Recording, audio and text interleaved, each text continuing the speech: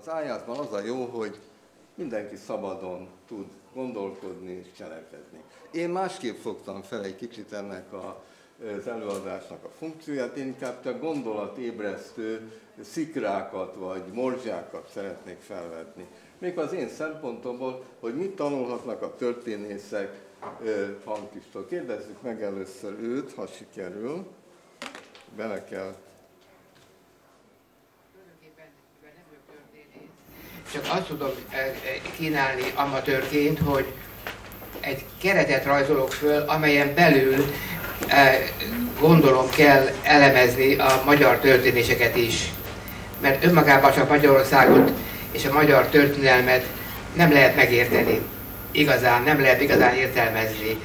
Egy, egy, egy, egy, egy keretet, ami, ami tágabb, mint Magyarország, hát ha ez segít a, a gondolkodásban. Ha nem, akkor felejtsék el. Most ez nagyon tipikus ez az utolsó mondat. A legnagyobb dinamizmussal előadott gondolatmenet végén is általában egy picit visszalépett, hogy hát talán nem is így van, talán nem is így van.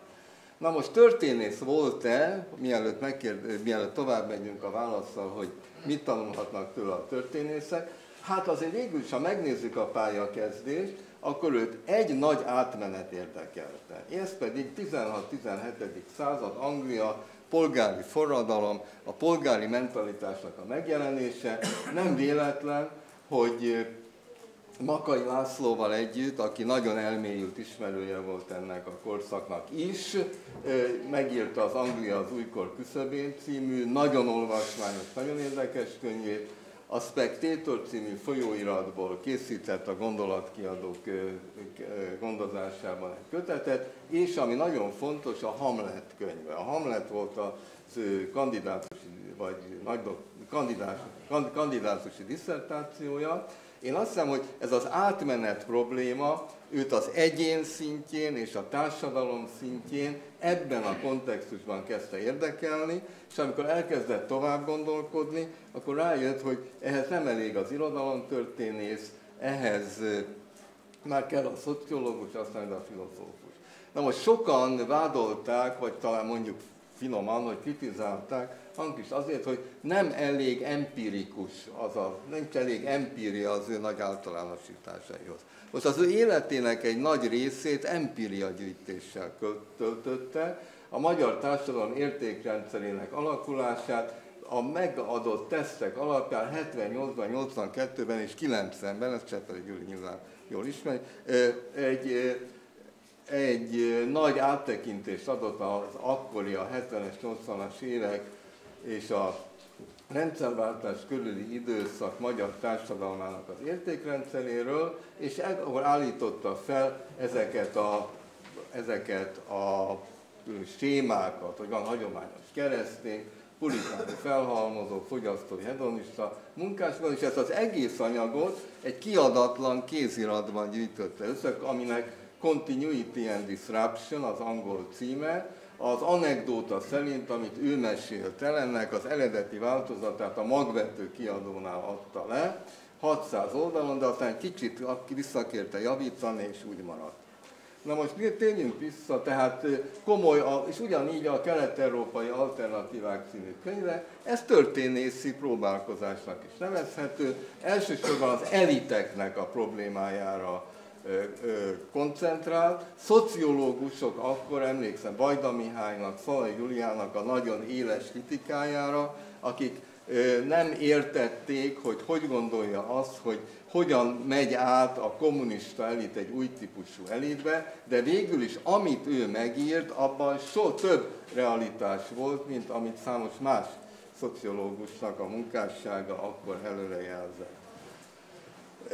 Mit tanulhatunk akkor ezekből a munkáiból és a módszeréből? Gazdag empíria minden ellenkező híresztelés ellenére, nagyvonalú általánosítások, és merész asszociációk. Van egy híres képe, hogy amikor a halacska az egyik akváriumból át, e, ki akar szabadulni, van egy másodperc szabadságérzés, amikor a másik akváriumba beleesik. Ez egy, ez egy, egy gyönyörű. Na, ilyen képeket milyen könnyű megjegyezni, és a történészek gyakran nem élnek ebben a lehetőséggel. Imádtában nem akar a dihotómiákat, ezeket, hogy a krízisek, arra hogyan lehet válaszolni, ennek nagyon sok formája van.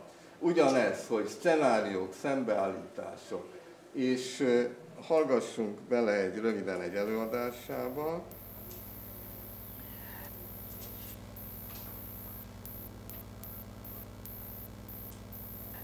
Pillanatilag most így állunk.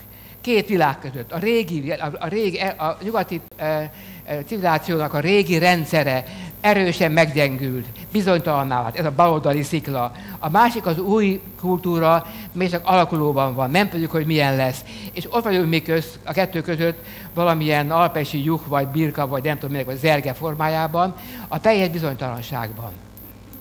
Ebben a helyzetben kell megpróbálni magunkat emberként, méltóságteljes szabad emberként fölépítenünk és akkor így egy világosan jelez egy problémát, világosan jelzi a kérdést, és akkor utána végig megy a, a szerinte járható úton. Még a módszerét, amiből a történészek tanulhatnak, úgy jellemezném, hogy zenei motivumok erejével köszönnek vissza alaptézisek, főleg amit ilyen filozófiai antropológiának nevezett a munkássága utolsó szakaszában, például a félelem probléma, hogyha végigolvassuk a könyveit, olyan, mint amikor egy nagy zenemű els, nyitányába, első téte, második téte, ugyanaz a probléma előjön, de mégiscsak valamilyen új szint kapna. Ebből nagyon sokat lehet tanulni, hogy hogyan tudja egy történész a tézisét világosan megfogalmazni, majd különböző szempontokból körbejárni és érthetővé tenni amit úgy fogalmaztam itt, hogy bátorságok a műfajok küvéjére, gond nélkül keveri a különböző műszakokat, a különböző műfajokat, a, a filozófiai eszét, az empirikus bemutatáshoz, és így tovább, és így tovább. És ami a legfontosabb,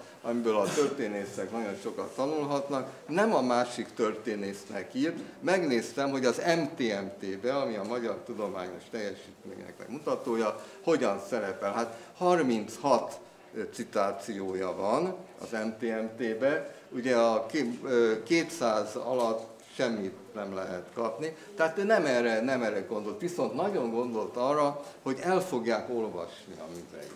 Nagyon sok történésznek ez nem szempont, az a szempont, hogy citálják, ahogy meglegyen benne minden, ami a kvalifikációhoz kell, ez az, amit őt nagyon nagyját teszi a mi szemünkbe is.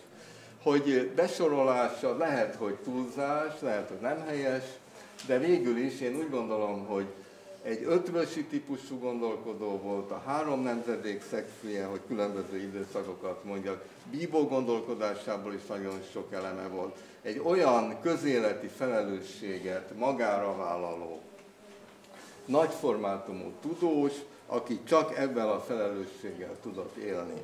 És nagyon örülök, hogy én idézhetem először, ma még gondolom legalább tízszer fogják idézni ezt az aranyverset, amivel befejezte annak idején az utolsó közszegi előadását.